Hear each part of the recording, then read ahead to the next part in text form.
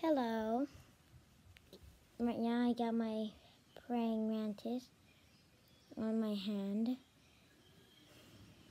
He used to be very rapidly moving, but how to but now I'm going to tell you how to train a praying mantis. And you could do this like I'm doing.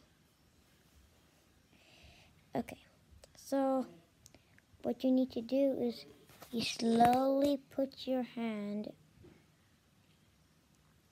next to the praying mantis, like, and then wait for the praying mantis to come on you.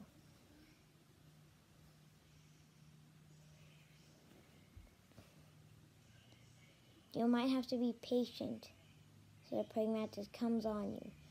You want to avoid grabbing the praying mantis. Because I noticed when I tried to touch my, even touch my praying mantis, it would try to go away and get very shocked.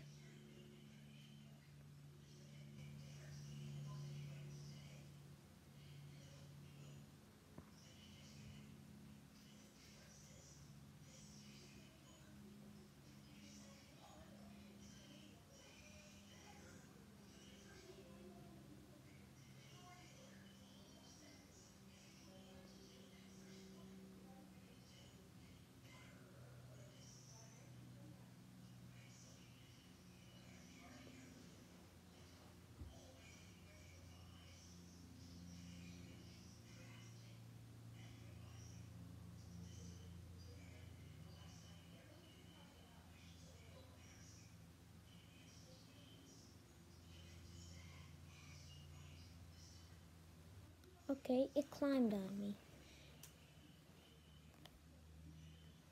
Okay, once you got your praying mantis on your hand like I did, you can carry around softly.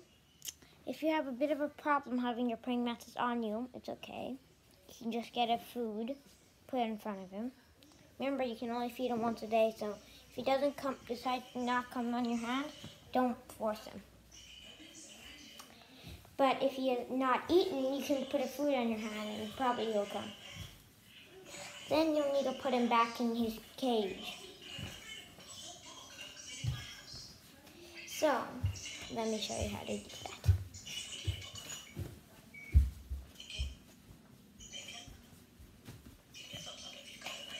Don't mind me, that's my brother on Zoom.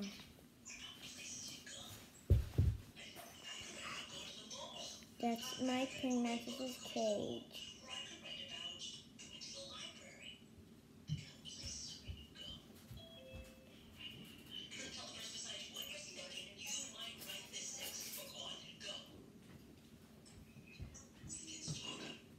Customer service.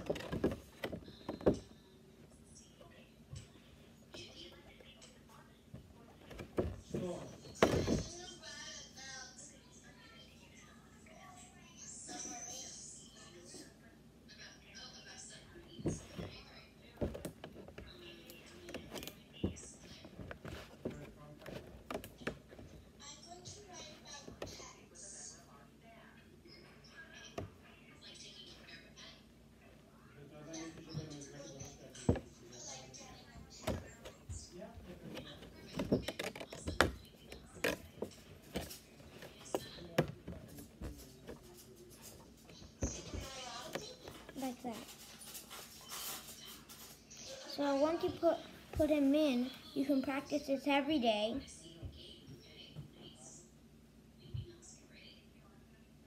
Okay. Until you get used to your hand. Okay. Now, you can go off and start training your praying mantis.